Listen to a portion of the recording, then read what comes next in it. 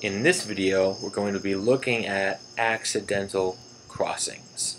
And what that means is a location on a graph where lines cross, just like right here.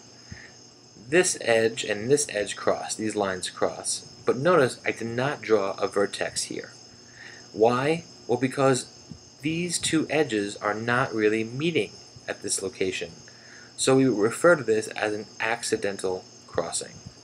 Accidental crossing. In other words, it's a location where the lines and edges look as if they're crossing, but aren't really crossing. And the same thing is here and here. And sure, you can say, well, they are crossing each other. Okay, but we're not highlighting them with a vertex, and that might mean a lot depending on the problem you have. And what I mean is, let's say we have a problem that deals with, with airports. So we have the green airline, and the airports from the green airline Perhaps they're flying along this way, so from A to B. And at the, the blue airline, perhaps they're flying from C to D. And the red airline might be flying from E to F. And imagine that for whatever reason, um, and the weather or the speed of the planes, the way it's actually set up is as planes from the blue line are flying this way and they arrive at this accidental crossing, the green planes are also going to arrive there.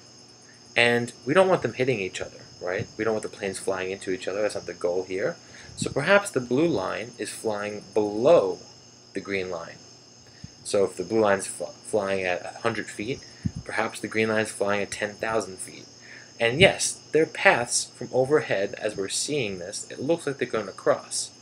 But really, they're flying at different elevations. And this flat graph can't tell you elevation, so it looks like they're crossing, but they're not really crossing. Same thing here. We don't want the red and green line to actually hit, so they're flying at different elevations. And here, the red and blue line, we don't want them to hit. So yes, their flight paths do cross um, what looks like the same physical space, but they're at different heights. So they're not actually going to hit each other. This has all types of applications. You can think of uh, green as being a railway line, C as being a subway line below ground, and A as being some sort of highway, right? And maybe there's tunnels where they don't hit each other or bridges, uh, but there are all types of applications. So don't feel like if you're drawing edges when they cross, don't feel you have to draw a vertex there. It might not make sense.